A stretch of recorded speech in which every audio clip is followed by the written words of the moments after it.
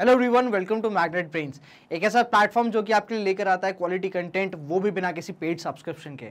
जी हाँ magnet brains भी आपको मिलती है क्वालिटी एक एजुकेशन 100 परसेंट फ्री जब आप हमारे वीडियोस वेरियस प्लेटफॉर्म्स पर देखते हैं, जो कि यूट्यूब हो गया, हमारा ऑफिशियल वेबसाइट मैग्नेट या फिर हमारा एप्लीकेशन तो आपसे किसी भी टाइप का कूपन कोड नहीं मांगा जाएगा, कोई भी टाइप का सब्सक्रिप्शन अमाउंट नहीं मांगा जाएगा hundred percent free education dedicatedly Magnet Brains आपके लिए लेकर आता है। और इसी डेडिकेशन का आप लोगों ने हमको फल दिया है विद एट मिलियन सब्सक्राइबर्स जी हाँ हमने एट मिलियन का मार्क जो है, वो क्रॉस कर दिया है। A very big thank you to all the students who have been with us यही हमारे लिए मोटिवेशन है आपके लिए वेरियस और अदर कोर्सेज लाने का। विद क्वालिटी तो इसी एट मिलियन के मार्क पे हम लोगों ने क्या करा है? हमारा कंटेंट लेकर आए जी हाँ हमने क्या कराया है? हमारे साथ जितने भी हमारा जो कंटेंट था, उसको हमने क्वालिटी के साथ और रिफाइन करा है कंपाइल करा है इन फॉर्म्स तो ये फॉर्म्स क्या क्या है? एक तो आपकी ई बुक्स हैं और साथ साथ में फ़िज़िकल बुक्स हैं।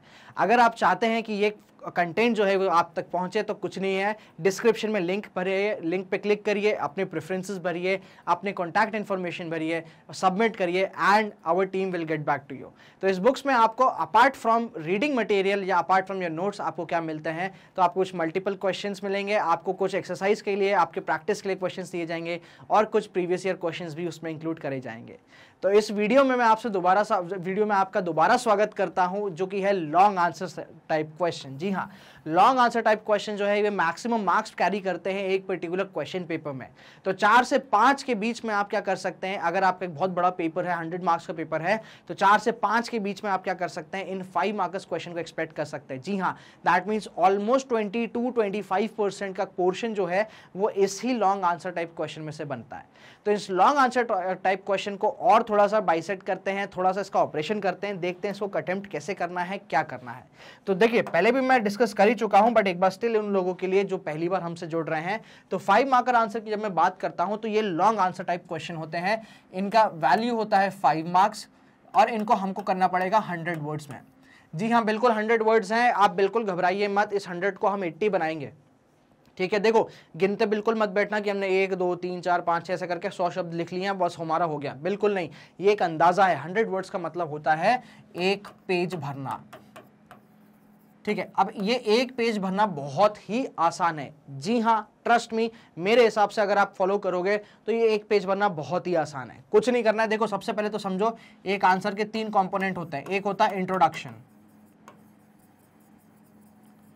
ठीक है इंट्रोडक्शन की जब मैं बात करता हूँ तो ये क्या होता है? डेफिनेशन होती है किसके बारे में? आपके कीवर्ड के बारे में। ठीक है जो आपको कहाँ से मिलेगा? क्वेश्चन में से मिलेगा। ठीक है, ये कीवर्ड वो होता है जिसके अगर जिस चीज़ को हटा दिया जाए उस क्वेश्चन में से तो उस क्वेश्चन का कोई सेंस नहीं बनेगा, कोई मतलब नहीं बनेगा। ये मतलब क्या होता है? ये मोस्ट इंपॉर्टेंट पार्ट होता है एक पर्टिकुलर क्वेश्चन का। तो उसी को हमको क्या करना है? यहाँ पे इंट्रोडक्शन में एक्सप्लेन करते जाना है। क्या करना है उसको? थोड़ा एक्सप्लेन करना है। एक्सप्लेन किस फॉर्म में करेंगे? उसको डिफाइन करके। कैसे उसको डिफाइन करके। और यही डेफिनेशन हमारी कम से कम कितनी ले लेगी 20 से 30 वर्ड्स के बीच में आ जानी चाहिए, ठीक है? फिर हम जंप ऑन करेंगे एक कनेक्टिंग लाइन पे। ये कनेक्टिंग लाइन क्या रहेगी? अगेन 10 वर्ड के आसपास रहेगी दैट मीन्स एक लाइन की रहेगी, ठीक है? जो कि आपके इंट्रोडक्शन और अब जो नेक्स्ट कंपोनेंट आने वाला है बॉडी उसको क्या करेगी? कनेक्ट करेगी, ठीक है? क्या करेगी, ये कनेक्ट करेगी। अब बॉडी क्या होती है? बॉडी वो होगा, वो कंपोनेंट ऑफ़ द क्वेश्चन हो जाएगा, जो आपसे पूछा गया आपसे फीचर्स पूछे गए हैं, आपसे इफ़ेक्ट पूछे गए हैं, आपसे कुछ इंपॉर्टेंस पूछी गई है, आपसे ये पूछा गया कि क्यों है मतलब डब्ल्यू या एच जो क्वेश्चन होते हैं, जिनके एंड में आपको क्या मिलता है क्वेश्चन मार्क मिलता है, वो टाइप की चीज़ें जो है, वो वो अब आप क्या करोगे, आप अटेम्प्ट करोगे। बॉडी की बात करते हैं तो बॉडी में चार से पाँच डायमेंशन आपको देने हैं। और लिमिट रहेगी कितनी? आपकी 40 से पचास वर्ड तो इस बीच में हमको क्या करना है? बॉडी को खत्म करना है और फाइनली हम अपना चौथा कंपोनेंट देंगे कंक्लूजन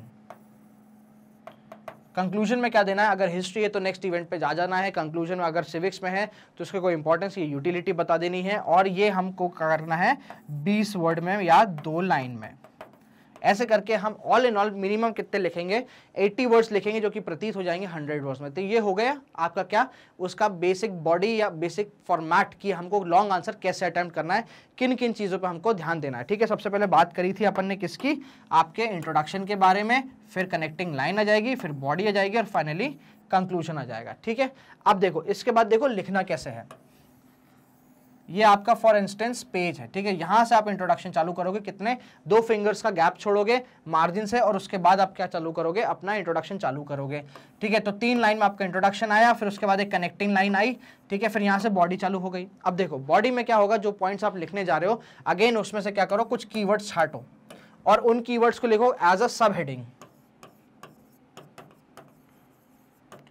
सब हेडिंग लिखने के बाद उसके नीचे के पॉइंट लिख दो, ठीक है? अगेन ठीक है? और फाइनली एंड में कंक्लूजन आ जाएगा। ठीक है, अब देखो इन केस अगर आपको इस टाइप से लिखने में प्रॉब्लम हो रही है, आपको नहीं समझ में आ रहा, आपके पॉइंट्स बहुत छोटे छोटे बन रहे हैं, आपके पास कंटेंट इतना नहीं है या उस टाइम पे याद नहीं आ रहा तो कुछ नहीं करना, इसी चीज़ को क्या करना है, आपको एक फ्लो चार्ट के फॉर्म में प्रेजेंट कर देना है। ये आपने इंट्रोडक्शन चालू करा। कनेक्टिंग लाइन आई, ठीक है? फिर यहाँ पे फ्लो चार्ट एक, दो, तीन, चार, ये पाँच। अब देखो, आपके पास क्या है? चौड़े में स्पेस कम है क्योंकि आपको इतनी ही स्पेस में पाँच पॉइंट ठूसना है। तो आप क्या करोगे? कम कम लिख के एटलीस्ट एक सेम सेम पॉइंट को जिसमें आपके सिर्फ़ दस वर्ड या पंद्रह वर्ड आ रहे हैं, वो आपके लेंथ में कवर हो जाएँगे। तो ऐसे क्या करना है? बाकी पॉइंट्स को भी लिख देना है। कुछ ज़्यादा होंगे, कुछ कम होंगे। कोई फ़र्क नहीं पड़ता, बाकी की स्पेस तो खाली ही जा रही है, कोई दिक्कत नहीं है। सीधा यहाँ आओ, एक लाइन छोड़ो कंक्लूजन लिखो और अटेम्प्ट करो आंसर को क्वाइट ईजीली जी हाँ हमको कतई नहीं दिखाना है, हमको कतई हंड्रेड वर्ड्स नहीं हंड्रेड वर्ड्स नहीं लिखना है, हमको बस ये दिखाना है कि हाँ हमने एक पेज फिल करा है और हम आपके पाँच मार्क्स के हकदार हैं। अब ये पाँच मार्क्स मिलेंगे कैसे? तो ये पाँच मार्क्स मिलेंगे आपके कंटेंट के बेसिस पे। जी हाँ क्वालिटी कंटेंट अगर आप रखोगे हमारे जैसे तो आपको पाँच में से पाँच हंड्रेड परसेंट मिलेंगे। कहीं से कहीं तक कोई कटने का सवाल नहीं है। तो चलिए, कुछ क्वेश्चंस देखते हैं आपके लॉन्ग आंसर टाइप के, जो कि आपकी प्रैक्टिस के लिए रहेंगे। सबसे पहले क्वेश्चन आपके सामने आता है how is government formed in a democracy democracy में गवर्नमेंट कैसे बनती है? तो हमको सबसे पहले गवर्नमेंट प्रोसीजर बताना है इलेक्शन बताना है इलेक्शन के बाद ओथ बतानी है। ओथ के बाद मेंबर्स आएँगे मेंबर्स अपने फॉर्म करेंगे गवर्नमेंट को। और फाइनली गवर्नमेंट क्या करेगी? आपका काम चालू कर देगी, ठीक है? तो सबसे पहले हम क्या करेंगे? In a democracy government is formed after election ठीक है? आगे आपका introduction government formed after election ठीक है? After the election a list is prepared which indicates the winner of each Lok Sabha seat ठीक है?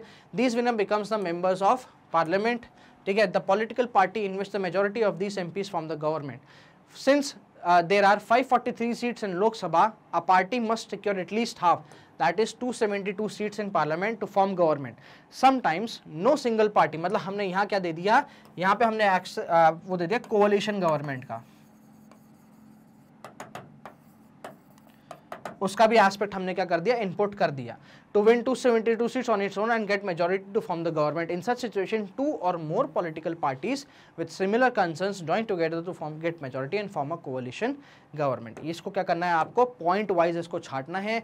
इसमें से आपको कीवर्ड्स हाईलाइट करने हैं और फाइनली क्या करना है? एक प्रॉपर आंसर फ्रेम करना है। बेटा, जब तक प्रैक्टिस नहीं करोगे, तब तक ये जो आंसर राइटिंग का आर्ट है, इसमें परफेक्शन के पास तक नहीं आ पाओगे। तो प्लीज़ मैंने आपको कंटेंट दिया है, एक बहुत ही रॉ फॉर्म में दिया है। तो जब तक आप खुद इसको लिख के प्रैक्टिस नहीं करोगे, तब तक आप क्या कर सकते हो? आंसर राइटिंग वो हंड्रेड वर्ड का जो मार्क है ना, उसको अचीव करने में बहुत प्रॉब्लम आएगी। इसलिए रॉ कंटेंट आपके सामने है। यहाँ पे आपको इंट्रोडक्शन में क्या करना है? डेमोक्रेसी को आप चाहो तो डिफाइन कर सकते हो इंट्रोडक्शन के फॉर्म पे।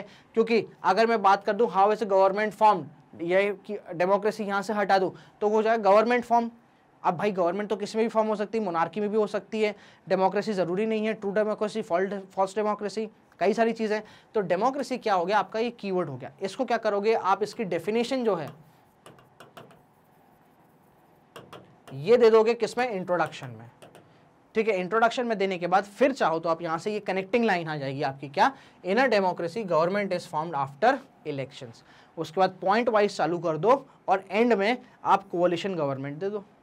भाई, ये भी एक टाइप का क्या है? डेमोक्रेटिक ही है but it is also a form of government और it is also a type through which government can be form in a democracy understood चलो। With reference to British rule in India explain why it is important that people should decide ठीक है तो हमको क्या लेना है? हमको British rule context में लेना है और ये बताना है कि लोग क्यों डिसाइड करें। तो इसमें हमको कंपेरेटिव स्टडी पूछी गई है। साथ साथ में एक ही आंसर में हम दो एस्पेक्ट को लेकर चलेंगे। पहला ब्रिटिश रूल बताएँगे कि ब्रिटिश रूल में क्या था और उसके बाद हमने ये क्यों दिया कि भाई जो डिसीज़न है, ठीक है तो पीपल शुड डिसाइड ये क्यों ज़रूरी पड़ जाता है। चलिए आंसर देखते हैं। During British rule the people of India were made to obey laws and they had no rule in making of people did not agree with the decision imposed on them and lived in fear of British government. As they fought for independence, they wished they were inspired by the ideas of freedom, equality, and participation. They wanted to have a say in the government and its decision making. With independence, from British rule, it was now up to the people of India to justify their destiny. It is important to let the people decide because of the actions and decisions of the government affect the country, uh, people of the country directly. They have every right in decision making matters which affect them. तो ये क्या हो जाएगा ये वाला part आ जाएगा किसमें आपके कंक्लूजन में ठीक है और ऊपर से पॉइंट आपको यहाँ से एक्सट्रैक्ट करने हैं ठीक है ये हो जाएगा आपका क्या पूरा पूरा आंसर तो ये थे आपके सामने कुछ examples long answer type question के। प्लीज़ प्रैक्टिस करते रहिएगा। आपकी टेक्स्ट बुक में से निकालिए क्वेश्चन कहीं से एक्स्ट्रा क्वेश्चन आपको मिल पा रहे हैं, वहाँ से लीजिए। हमारी ई बुक्स है, जो बुक्स हैं, उसमें से आपको एक्स्ट्रा क्वेश्चन मिल जाएँगे प्रैक्टिस के लिए। तो इसी के साथ मैग्नेट प्रिंट्स आपके लिए लेकर आता है क्वालिटी कंटेंट वेरियस कोर्सेज में। जी हाँ यहाँ पे आपको किंडर से लेकर क्लास ट्वेल्थ तक के एक्सटेंसिव कोर्सेज मिलते हैं इंग्लिश मीडियम और हिंदी मीडियम में। साथ साथ कुछ सी से रिलेटेड कॉम्पिटेटिव एग्ज़ाम्स भी आपको यहाँ पे क्या मिलते हैं, उनके कोर्सेज मिल जाते हैं। आप हमारे वीडियोज़ देख सकते हैं वेरियस प्लेटफॉर्म्स पे, जो कि यूट्यूब हमारी ऑफिशियल वेबसाइट और हमारे एप्लीकेशन पर अवेलेबल है। इन वेरियस मल्टीलैटरल प्लेटफॉर्म से जब आप क्या करते हैं, हमारी वीडियोस देखते हैं तो आपसे किसी भी टाइप का कूपन कोड नहीं मांगा जाता। 100 percent free education Magnet Brains dedicatedly आपके लेकर आता है। हमारे रेगुलर अपडेट्स के लिए बने रहिए हमारे यूट्यूब प्लेटफॉर्म पर चैनल को सब्सक्राइब करें बेलाइकन दबाएँ अपडेट्स के जानकारी के लिए और साथ साथ इस वीडियो को ढेर सारा प्यार दें, ढेर सारा लाइक दें शेयर करें अपने दोस्तों के बीच में, अपने पीयर्स के बीच में। बने रहिए हमारे अपने सोशल मीडिया हैंगआउट्स पे, जो कि है इंस्टाग्राम टेलीग्राम ट्विटर और आपके फेसबुक पे। Thank you so much for watching this video